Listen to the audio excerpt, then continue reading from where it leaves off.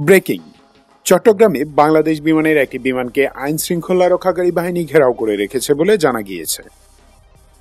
বিশ্বস্ত সূত্র মতে জানা যায় যে বিমানটি অবতরণ করার পর ছিনতাই করার চেষ্টা করা হয়েছে। আমাদের ঘনিষ্ঠ এক এয়ারপোর্ট এমপ্লয়ি সূত্রে জানতে পেরেছি যে কে বা কারা বিমানটি রানওয়েতে থাকাকালীন ছিনতাই করার চেষ্টা করে। কিন্তু যথাযথ কর্তৃপক্ষের সময় মতো অ্যাকশনের জন্য তা ব্যর্থ হয়। কয়েকটি দেশীয় টিভি চ্যানেল এ নিয়ে লাইভ নিউজ প্রচার করছে। আপনারা টিভি অন করে তা দেখতে পারেন। ঘটনার বিস্তারিত আর কিছু জানা যায়নি। আর কিছু জানতে পারলে আপনাদের আপডেট দিয়ে জানাব।